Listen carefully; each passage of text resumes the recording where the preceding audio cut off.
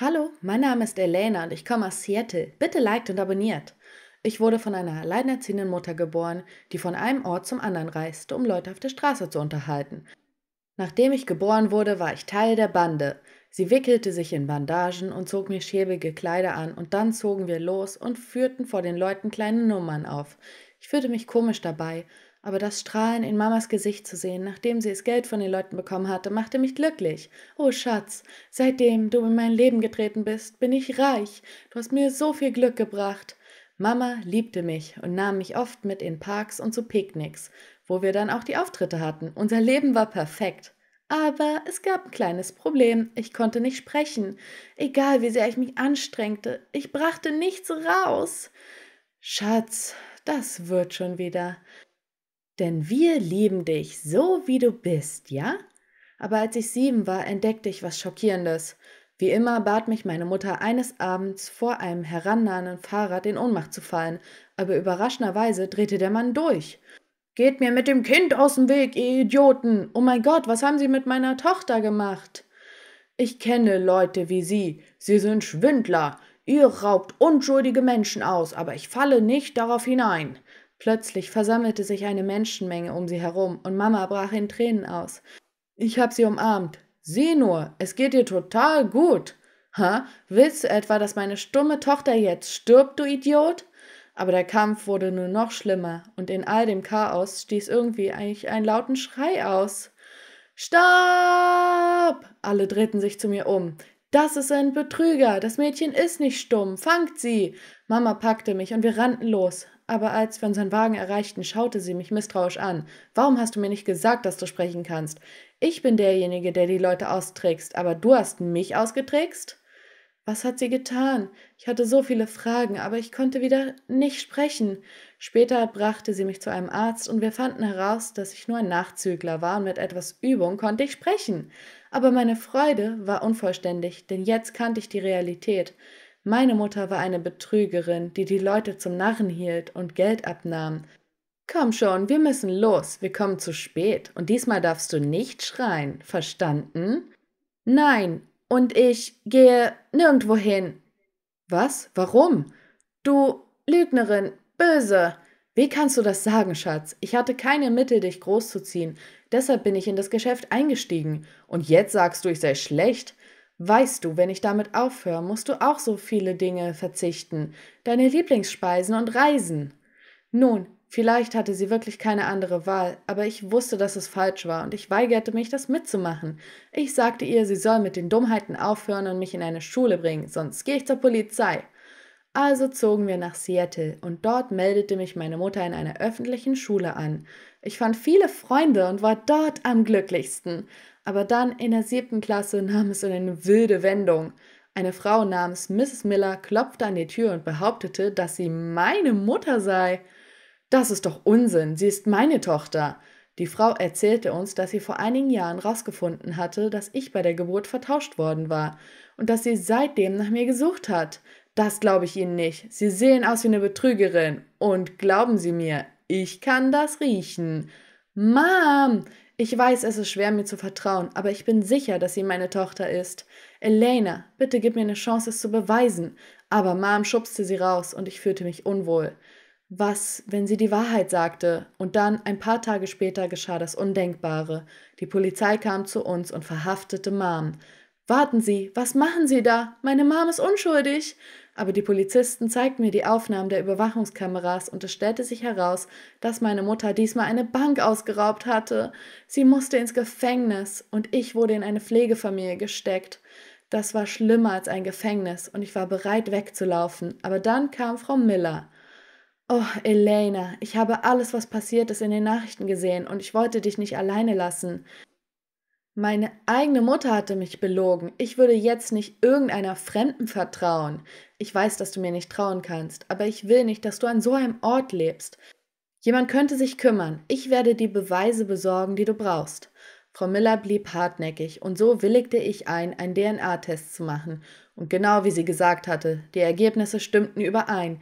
Sie war meine Mutter. Ich war geschockt von dieser Enthüllung und bei ihr einzuziehen erschien mir so viel besser, als an diesem dreckigen Ort zu verrotten, also stimmte ich zu. und sie brachte mich in ein palastartiges Haus. Meine leibliche Mutter war reich. Das wird jetzt dein Zuhause sein, Süße. Aber du musst mir was versprechen. Das Mädchen, das mit dir vertauscht wurde, Stella, ich habe ihr noch nichts von all dem erzählt. Ich habe sie geliebt wie mein eigenes Kind und ich möchte mehr Zeit haben, mit ihr drüber zu reden, okay? Ich versprach, nichts zu sagen. Als wir hineintraten, rempelte mich ein süßer kleiner Junge an und wir fielen beide auf den Boden. Autsch, das tat weh. Hey, bist du okay? Ich half ihm auf und Mrs. Miller erzählte mir, dass er mein jüngerer Bruder Jeremy war und wir sahen uns so ähnlich. Aber er schien sehr schüchtern zu sein und lief weg. Später beim Abendessen stellte mich Frau Miller Stella vor. Ein entfernter Verwandter? Wieso habe ich nie von ihr gehört, Mom? Weil sie sehr weit weg wohnte, Schatz. Aber jetzt wird Elena eine Weile bei uns bleiben und ich möchte, dass du gut zu ihr bist, okay? Keine Sorge, ich werde mich gut um sie kümmern. Wir werden die besten Freunde sein. Stella schien ein sehr nettes Mädchen zu sein. Sie zeigte mir das Haus und ließ mich sogar ein paar ihrer schönen Kleider ausleihen. Heute Abend übernachte ich bei meinen Freundinnen. Wir werden so viel Spaß haben. Und tatsächlich, ein Riesenspaß. Alle liebten mich und machten mir Komplimente. Deine Cousine ist unglaublich, Stella. Du solltest sie zu all unseren Übernachtungen einladen. Und ich schätze, wir werden dich nicht einmal vermissen, weil sie viel mehr Spaß macht. Donnerwetter, diese Mädchen waren lustig. Sie haben mir ein paar Fragen über meine Familie gestellt und ich habe ihnen ein paar Lügen aufgetischt, aber Stella sah verärgert aus. Die nächsten paar Tage waren toll. Frau Miller ging mit mir einkaufen und wir hatten so viel Spaß dabei, uns kennenzulernen. Sie nahm mich sogar mit an den Arbeitsplatz und ich war stolz drauf, dass sie eine Spitzenanwältin in der Kanzlei war. Ich wollte genauso werden wie sie. Aber in dieser Nacht, als ich schon schlief, hörte ich seltsame Geräusche in meinem Zimmer und sah, wie jemand meine Sachen durchwühlte. Es war Stella. Was machst du hier? Oh, ich wollte nur nach dir sehen. Geh schlafen. Mit diesen Worten eilte sie aus dem Zimmer, aber ich fühlte mich unwohl und konnte nicht mehr schlafen, also ging ich nach unten in die Küche, um Wasser zu holen. Dort fand ich Jeremy, der sich hinter der Theke mit Eis und Keksen vollstopfte. Hab dich erwischt? Nein, bitte sag es niemandem, dass ich hier bin. Ich schwöre, ich hab nichts gegessen. Hey, ist schon gut, ich sag's niemandem. Entspann dich. Nachdem er sich beruhigt hatte, fragte ich ihn, was los ist. Ich, ich fange an zu essen, wenn ich irgendwie nervös bin. Warum bist du nervös, Jeremy? Ich falle immer in allen Fächern durch und alle meine Freunde machen sich darüber lustig. Idioten. Ich helfe dir. Wirklich? Ja, und dann können wir diesen fiesen Kindern eine Lektion erteilen, damit sie nicht mehr auf dir rumhacken. Du bist toll, Schwesterherz. Mit diesen Worten umarmte er mich fest und von da an verbrachte ich meine Abende damit, Jeremy in seinem Zimmer zu unterrichten. Mit der Zeit entdeckte ich, dass wir viele Gemeinsamkeiten hatten ich bin so froh, dass ihr euch gut versteht, Elena. Ja, ich habe ihm beim Lernen geholfen, aber ich glaube, er ist zu erschöpft für den Tag. Ich gehe jetzt. Ich wollte den Raum verlassen, aber in dem Moment nahm Mrs. Miller sanft meine Hand. Es ist gut, dass ich nie aufgegeben habe, dich zu suchen. Danke, meine Tochter. Ich bin auch froh, Mom. Als ich Mom sagte, leuchteten ihre Augen und sie umarmte mich fest. Eine Woche später wurde ich eingeschult und alle Freunde von Stella waren so froh, mich dort zu sehen. Wer ist das hübsche Mädchen, Stella? Ach, keine Ahnung. Warum fragst du sie nicht einfach? Mit diesen Worten ignorierte sie mich und ging mit den Freundinnen weg. Aber es gefiel mir nicht, dass sie sich so verhielt. Später an diesem Abend ging ich zu ihr. Hey, was ist los? Warum verhältst du dich so? Tja, das liegt daran, dass ich weiß, dass etwas nicht stimmt und du und Mom lügt mich an. Ach wirklich? Hast du deshalb meine Sachen einfach so durchgewühlt? Tu nicht so, Elena. Nichts von dem, was du sagst, passt zu dem, was du tust. Und so viele Tage sind vergangen und kein Familienmitglied ruft dich an. Was verheimlichst du? Ich wusste, dass sie es früher oder später rausfinden würde.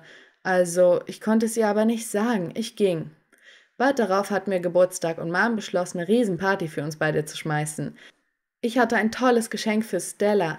Hey, äh, du siehst hübsch aus. Ich hab was für dich. Ich bin sicher, du wirst es lieben. Sie öffnete die Schachtel und ihre Augen leuchteten. Ich hab was noch Besseres für dich, das wird dich umhauen.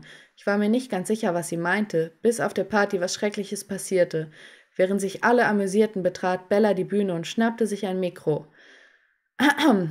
Hallo zusammen. Wie ihr alle wisst, habe ich heute Geburtstag. Aber auch Elena hat heute Geburtstag. Ich habe eine Überraschung für sie. Aber vorher solltet ihr alle wissen, wer Elena ist. Während sie das sagte, öffnete sich der Bildschirm hinter der Diashow mit Bildern meiner Mutter und all den Nachrichten, dass sie eine Betrügerin und Räuberin ist. Oh oh, das ist Elenas Mutter und Elena ist eine Betrügerin, genau wie sie. Jetzt wisst ihr's. Stella, hör sofort mit diesem Unsinn auf. Oh, das ist kein Unsinn, Mom. Das ist die Wahrheit. Und jetzt will ich wissen, warum du diese Straßenratte hier gekauft und vor mir versteckt hast. Du bist so ein furchtbarer Mensch, Stella. Oh, willst du weinen? Oh. Hör auf, tu ihr nicht weh. Sie ist nicht die Tochter, sondern du. Plötzlich herrschte eine Stille im Raum. Hast du den Verstand verloren, Jeremy? Wovon sprichst du? Hör auf, Elena weh zu tun. Sie ist meine richtige Schwester. Nein, Jeremy, hör auf! Stella schaute Mom mit fragenden Augen an. Was, was sagt Jeremy, Mom? Mom schwieg und Stellas Gesichtsausdruck veränderte sich und sie rannte in ihr Zimmer. Danach bat Mom alle Gäste zu gehen. Jeremy, woher hast du's gewusst? Einmal habe ich gehört, wie du am Telefon erzählt hast, dass du nach deiner Tochter suchst, die ausgetauscht wurde, und in der Nacht, als du in mein Zimmer kamst, habe ich nicht geschlafen und gehört, dass Elena meine Schwester ist. Oh, Jeremy, aber das hättest du nicht sagen sollen. Du hast geweint und Stella hat dir doch wehgetan. Ich ging sofort zu Stellas Zimmer, aber sie ließ niemanden herein. Sogar Mama hat versucht, mit ihr zu reden, aber sie ist jetzt ein paar Stunden lang nicht mehr rausgekommen. Da habe ich beschlossen, durchs Fenster einzubrechen. Aber als ich dort ankam, sah ich sie bewusstlos auf dem Boden. Wir brachten sie sofort ins Krankenhaus und der Arzt sagte, es ginge ihr gut. Äh, sie wäre nur ohnmächtig geworden. Später in der Nacht kam sie zu sich. Was macht ihr hier? Geht weg von mir. Stella, beruhige dich. Ich weiß, es ist ein großer Schock für dich und ich kann verstehen, wie du dich fühlst, aber hör mir zu. Ich will nichts hören, Elena. Ich hasse dich. Wegen dir verliere ich meine ganze Familie und mein Zuhause. Du wirst nichts verlieren, okay? Mom hat dich so lange geliebt und dich wie ihre eigene Tochter aufgezogen. Wie kannst du nur so denken, dass sie dich ersetzen würde? Elena hat recht, Stella. Du bist meine Tochter und meine Familie und wirst immer bei uns bleiben. Aber Elena ist doch jetzt deine Tochter. Ist das nicht der Grund, warum du sie hierher gebracht hast? Sie ist meine Tochter, aber du bist es auch. Ich liebe euch beide gleich. Ja, ich liebe euch auch gleich. Es tut mir leid, was ich getan habe. Also versprichst du mir, dass du mich nie loslassen wirst und ich dir immer wichtig sein werde? Ich verspreche es, mein Schatz. Plötzlich umarmten sie sich und ich schloss mich an. Leute, ich bin auch noch hier. Na komm, worauf wartest du schon?